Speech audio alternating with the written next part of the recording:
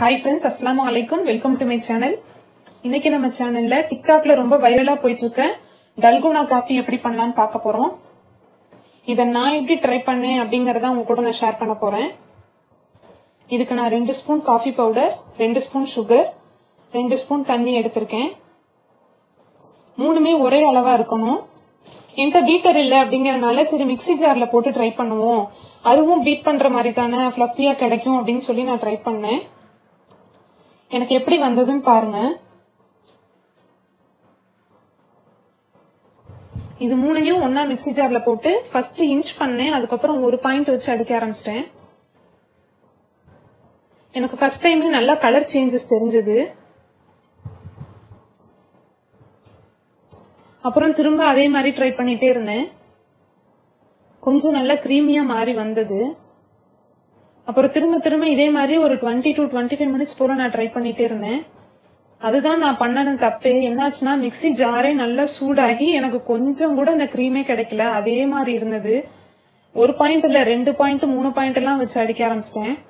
சுத்தமா எனக்கு கிடைக்கல. ஏன்னா அந்த ஜார் ஹீட் ஆயிட்டனால எனக்கு சுத்தமா அந்த க்ரீம் கிடைக்கல. அப்புறம் தான் சரி இது சரி வராது போலன்னு சொல்லி ஒரு பவுல்ல மாத்திட்டு சரி கையிலே பீட் பண்ண ஆரம்பிச்சிடலாம். அப்படின்னு சொல்லி மாத்தினேன். பாருங்க கொஞ்சம் க்ரீம் ஆயிருக்கு பாருங்க. மேபி நான் வந்து இன்ச் பண்ணிட்டே இருந்திருந்தா எனக்கு கிடைச்சிருக்கும்னு நினைக்கிறேன். அதுக்கப்புறம் மோர் கடையிற அந்த விஸ்க வச்சு ட்ரை பண்ணேன். ஒரு த்ரீ மினிட்ஸ்லயே பாத்தீங்கன்னா நல்லா இந்த மாதிரி க்ரீம் வந்துருச்சு.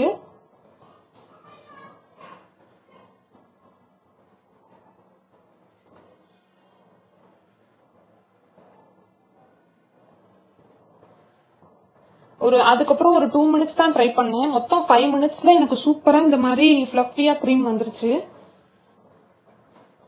அப்படியே அந்த டல்கோனா காஃபியோட க்ரீம் மாதிரியே சூப்பரா எனக்கு வந்துருச்சு. ஏண்டா மிக்ஸி ஜார்ல அவ்வளோ டுவெண்ட்டி ஃபைவ் மினிட்ஸ் கிட்ட நான் வேஸ்ட் பண்ணேன்னு இருந்தது. இந்த மாதிரி கையில பீட் பண்ண ஒரு ஃபைவ் மினிட்ஸ்ல எனக்கு கிடைச்சிருச்சு.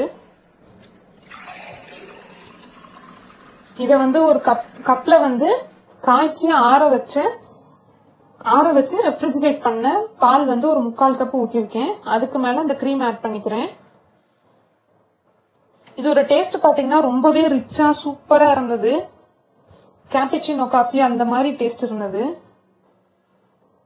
கண்டிப்பா அந்த சில்டு மில்க் ஊத்தி ட்ரை பண்ணுங்க. அப்பதான் அதோட டேஸ்ட் ரொம்பவே நல்லா இருக்கு.